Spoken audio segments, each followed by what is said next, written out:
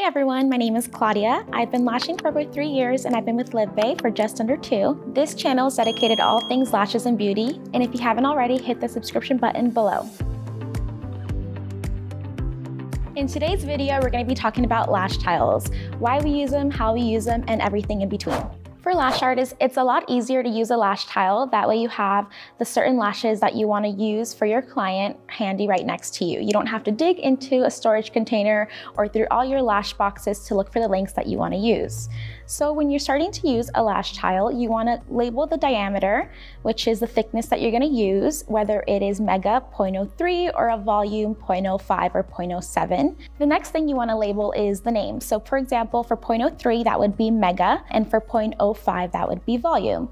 Once you've labeled the diameter and the type of lashes that you're using, you can start to number your, your strips from the shortest to the longest. For example, my, my most common lengths are 9 through 15, so I would label my tile 9 through 15. I usually use about two of each strip. You will also want to leave some space at the top of your tile to put your tape where you're going to be dispensing your glue dots. Also, between each strip that you put on your tile, you're gonna wanna leave a little bit of space. You don't want them to be right on top of each other because when you go to pull off lashes from your strip, you won't be able to get them correctly or they'll rip off completely.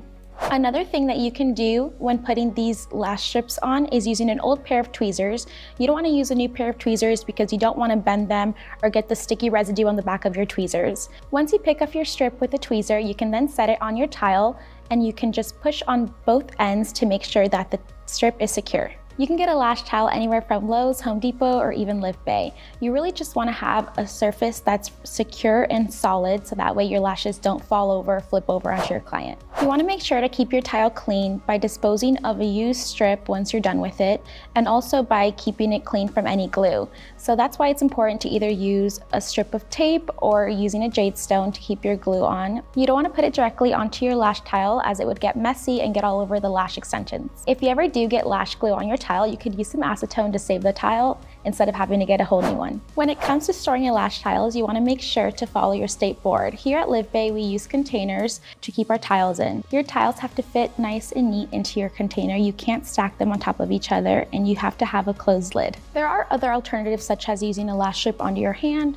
or a little pad that goes around your wrist um, placed on your hand as well. The reason we don't use those being that it isn't sanitary according to our state board. When it comes to organizing your lash tiles, you can do it in many different ways. The way I personally organize my lash tiles are by curl. So I'll pull all of my D curl into one tile, whether it is classic 0.18, 0.15, my volume 0.05, and then my mega 0.03 all in one tile.